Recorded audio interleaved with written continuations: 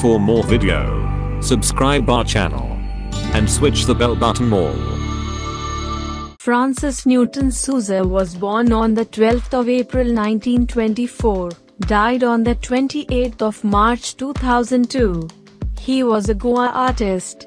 He was a founding member of the Progressive Artists Group of Mumbai, and was the first post-independence Indian artist to achieve high recognition in the West. Souza's style exhibited both low life and high energy.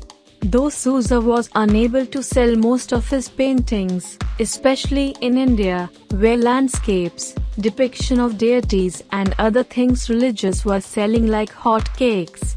Many of his works were sold for more than a million dollars post his death.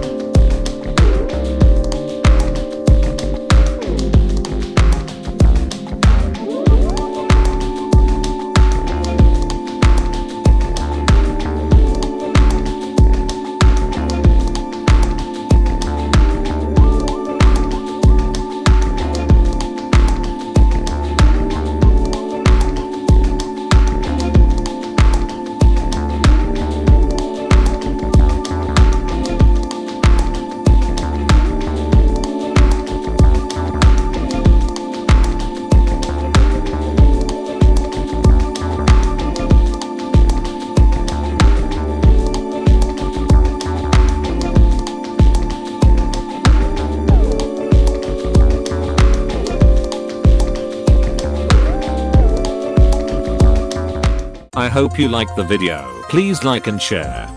Thank for watching.